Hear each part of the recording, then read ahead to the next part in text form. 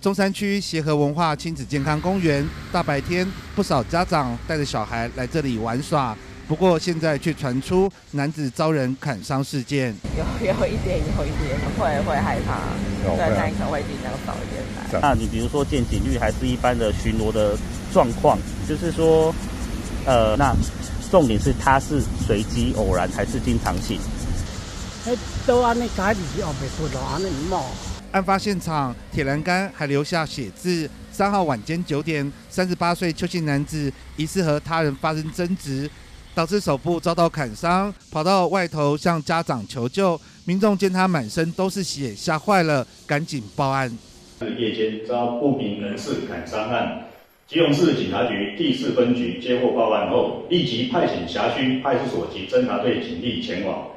到场发现有一男子手部遭割受伤，非遭砍伤，为生命迹象稳定。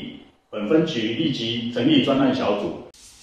男子受伤之后，跑了将近四百公尺，到附近公园人多的地方求救。当天晚上，市议员施伟正接获民众陈情，到现场了解后，发现亲子活动公园竟然没有任何一支监视器能够还原现场。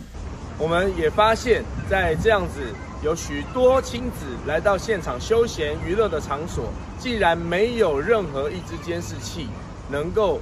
还原当时发生的状况，要请基隆市政府好好的来反思。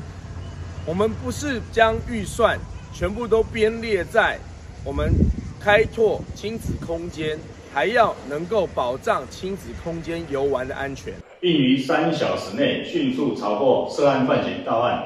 经代返厘清双方系因系故发生纠纷，非遭不明人士伤害，全案依法扩大侦办中。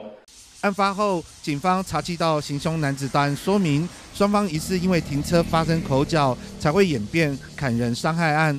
只是原本亲子休闲的场所，却发生了喋血案，也让家长神经紧绷，之一辖区的治安不平静。记者黄少明、吉永报道。